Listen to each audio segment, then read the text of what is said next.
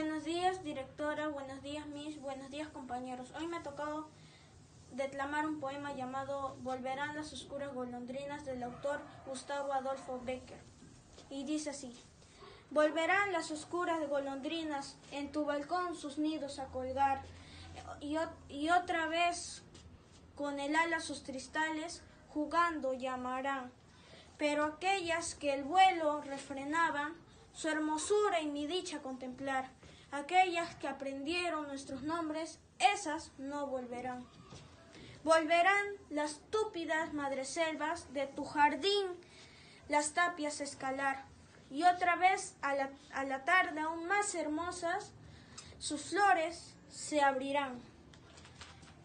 Pero aquellas cuajadas de rocillo, cuyas gotas mirábamos templar y caer como lágrimas del día, no volverán. Volverán del amor en tus, en tus oídos, tus palabras ardientes a sonar.